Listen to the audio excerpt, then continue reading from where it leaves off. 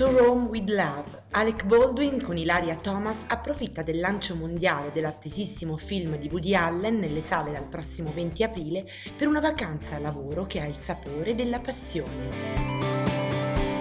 La coppia è atterrata a Roma e, seguita dall'immancabile bodyguard, ha approfittato del tempo clemente, anche se un po' freddino, per passeggiare nelle vie centralissime della città. Mano nella mano i due sono sembrati molto affiatati. Occhialoni scuri per Alec che su Twitter ha cinguettato. È bello essere a Roma, dove i paparazzi non salgono a